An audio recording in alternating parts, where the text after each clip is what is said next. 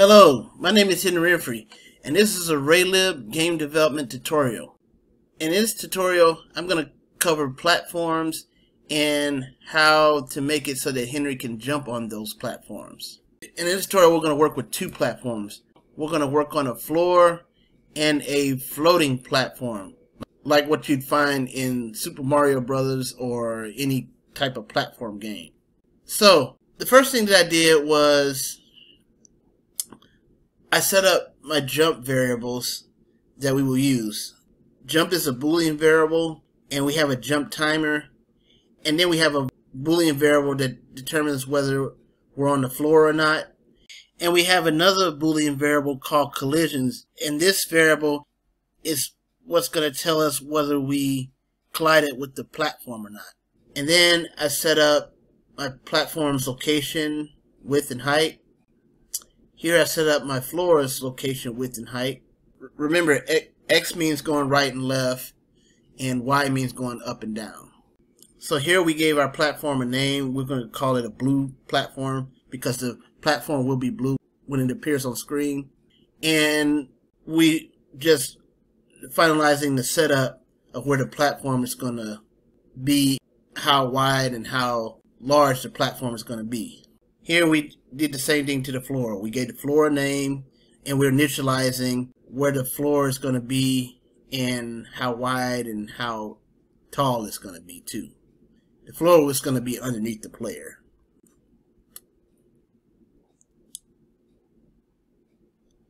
Okay, so we go down.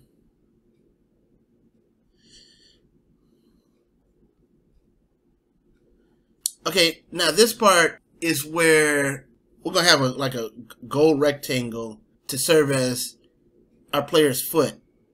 And that gold rectangle is basically just gonna be a collision shape to determine whether our player Henry has collided with the floor or not, or determine whether Henry has collided with the platform or not.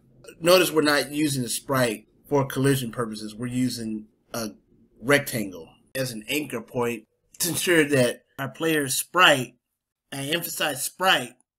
The word sprite is touching the ground and we can move this collision shape around to ensure that we get that appearance. Once we launch our game, you'll see what I mean. And then here we set up our Boolean variable to determine whether Henry landed on the platform or not. And here we set up our Boolean variable for whether Henry landed on the floor or not. If Henry lands on the platform, it'll run certain code. And if Henry lands on the floor, that'll run certain code. The coding will be similar, but we're just keeping them separate. Okay, so now we're dealing with creating the effect and making the jump and platform landing happen.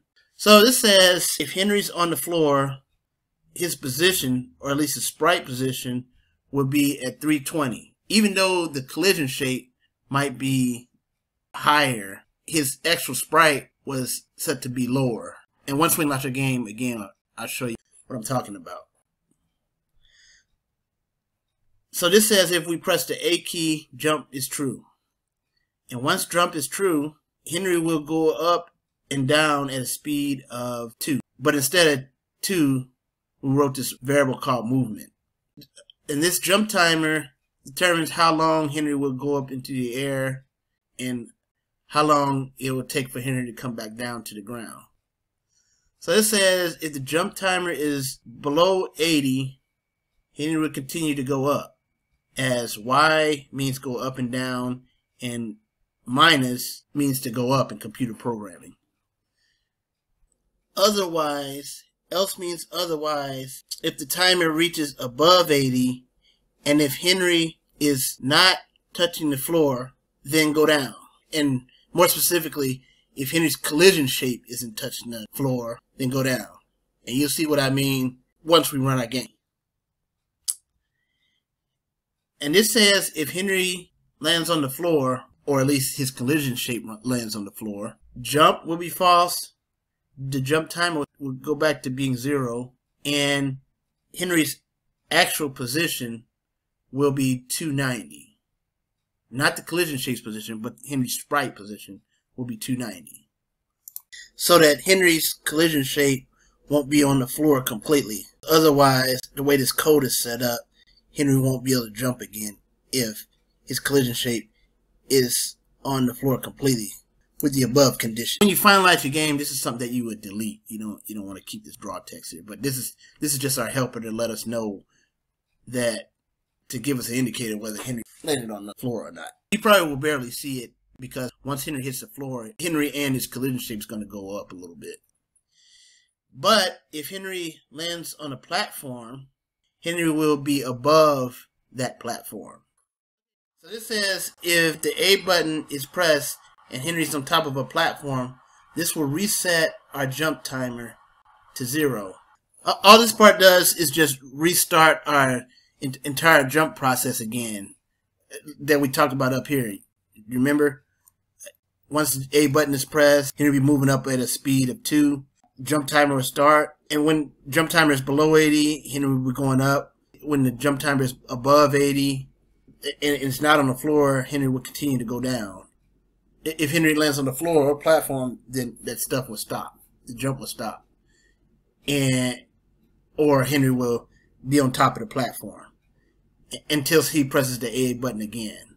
Or if Henry walks off the platform, that means he's not on the floor, so he will just go down until he lands on the floor. And that's the way we got a game set up.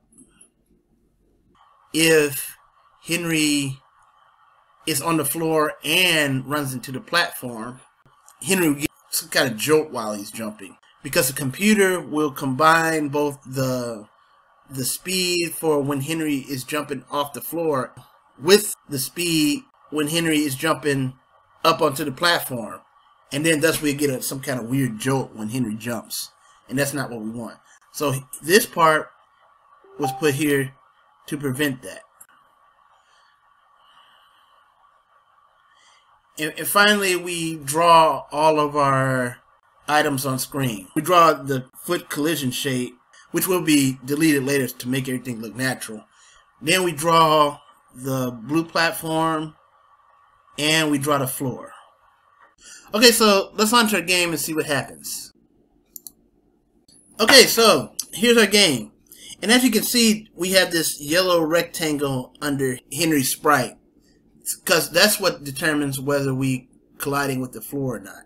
If Henry collides with the floor, then Henry goes slightly up like we wrote here. And that's why you're not seeing this draw text function here. Uh, because if Henry touches the ground, draw text function just flashes. And let me show you. So Henry's on the floor now. Uh, Henry's going to jump. And when he goes back down, you, you see that brief flash of floor collision. Let me show you again. Flash. See? Because that, that's when, so, because when Henry hits the floor, he goes back up, like we wrote here. Okay, so now let's see what happens when Henry lands on the platform. Jump up. And notice it's not the sprite himself, it's the collision shape that we uh, made that's landing. Like what we have here. See? If Henry collides with the platform, Henry stays up. So Henry's on the platform. Now we're going to try jumping again. press the A button. Timer's reset. Henry goes up comes back down. Henry goes up for 80 seconds and then comes down.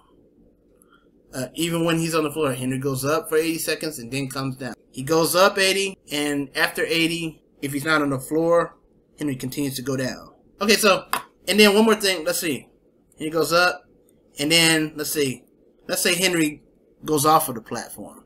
Well, that means he's not on the floor, right? So, that means he just continues to go down until he reaches the floor. And one more thing that you might want to do is just do this.